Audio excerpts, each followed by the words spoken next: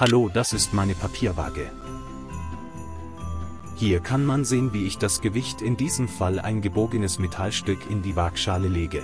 Hier habe ich dann 0,78 Gramm Gegengewicht in die andere Waagschale gelegt. Jetzt kann man sehen, dass die Waage perfekt gerade ist.